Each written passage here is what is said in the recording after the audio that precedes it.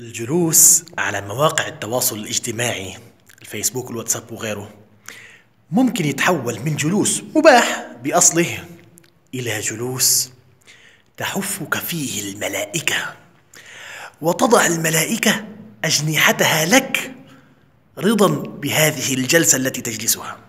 بس بالنية يعني نفس القعدة اللي أنت قاعدها صحح نيتك. من إنسان داخل بلا هدف أو بس هدفه يتسلى لإنسان داخل ليطلب علم. حط بنيتك. أنا بدي أفتش كيف أطلب علم وأستفيد من دخولي على مواقع التواصل الاجتماعي. فبكون طالب علم وطالب العلم كما صح الحديث تضع الملائكة أجنحتها له رضا بما يطلب. أو يكون نيتك أن تنشر خير. وفي الحديث معلم الناس الخير يستغفر له كل شيء. نفس الجلوس ونفس القعدة. اختلفت النية. بتفرق كثير يا طيب.